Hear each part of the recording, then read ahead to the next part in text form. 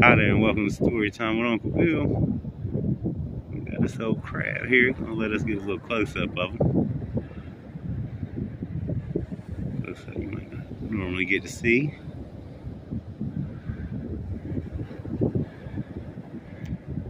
Check out all kind of little parts of him right quick. Check out his little legs.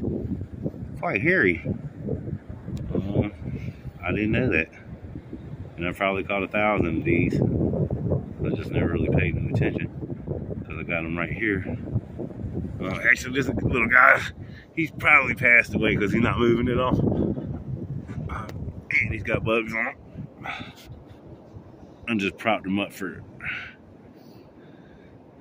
check him out right quick in case you ain't never seen one of these things before.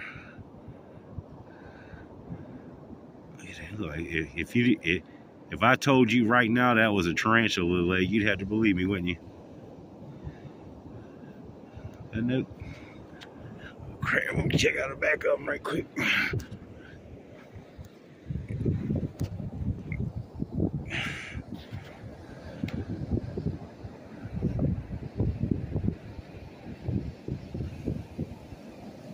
Man, I was hoping this thing was alive too.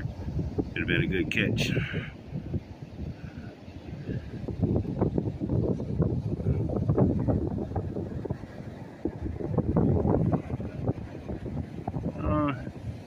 You never really see nobody eat these guys. These more just scavengers on the beach. Eat up all the dead fish and birds and stuff that wash up. All right. That's a good close look at them. Hope everybody's having a good day and staying safe.